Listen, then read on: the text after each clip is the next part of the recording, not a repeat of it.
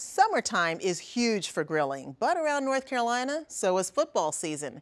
If you need to up your game at the next tailgate or just add some skills to your grill, you've got to check out GrillBillies in Raleigh. They've converted the old Neuse Train Depot into a small hub where you can not only get grills of all sizes, but also learn pitmaster secrets to beautifully seasoned, perfectly cooked meats. We're located at 9300 Durant Road in uh, Raleigh, North Raleigh.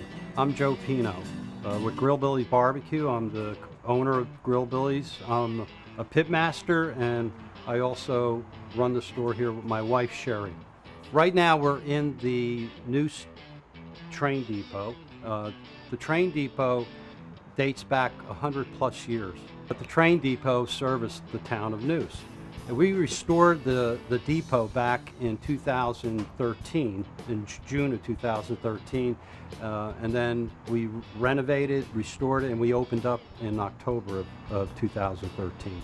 We are a store that's set up for barbecue, true barbecue people. We have seasonings, sauces, uh, injectables, all of them that are, are being used uh, in competitions. Uh, we sell a, a, variety of smokers. We have uh, just regular smokers, we have grills, we sell ceramic units. We do backyard all the way up to custom trailers. So we'll do trailers that are up to twenty-five to $30,000. Deborah, the seasonings and sauces in the store are pitmaster quality. In other words, the professionals, pitmasters, the local guys come here and buy these sauces and seasonings. And they layer them in a different way to get a certain flavor profile. Joe encourages his customers to try before you buy so you can taste and layer seasonings right here. You'll find the seasonings and other products at GrillBillies are all made in America and top quality. This is actually uh, one of our fire pits, and wow, they, heavy. it is. These are these are solid steel, and they're made in Goldsboro, North Carolina um, by a company called Southern Wildlife. And uh, we like it because they're local, they make a fabulous product, and this is a pretty versatile fire pit because not only can you just have your normal fire in it, but then per GrillBillies fashion, you're able to then go ahead and grill on it if you'd like.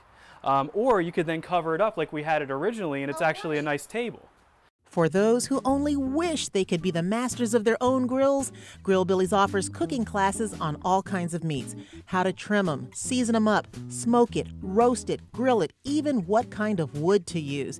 And afterwards, everyone stays for a nice sit down meal. One of the instructors is Stephen Gensler, originally from Texas and a backyard pro in beef brisket. Right now, Stephen is applying those skills to a smoked turkey breast he's preparing for today's visitors. Can you make a mistake when you're injecting?